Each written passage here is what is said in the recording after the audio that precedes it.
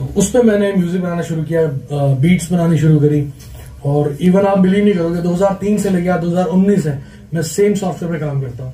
और acid pro पे काम करने के कुछ टाइम बाद प्रोपेयर हेड का एक और सॉफ्टवेयर है, जिसे बोलते हैं रीजन उसमें मैंने बीट्स बनानी शुरू करी रीड और फिर उसके बाद थोड़ा बहुत फ्रूटी फ्रूटी लूप्स पे काम किया। और फ्रूटी लूप्स पे मेलोडी बना के बीट बनाता था रीजन में। और उसको मैं एसिड प्रो में कंपाइल करता था।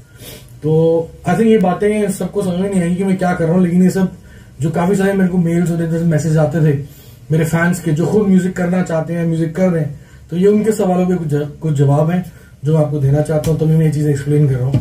तो तो आपने सुना सॉफ्टवेयर मैटर नहीं करता है, दिमाग मैटर करता है।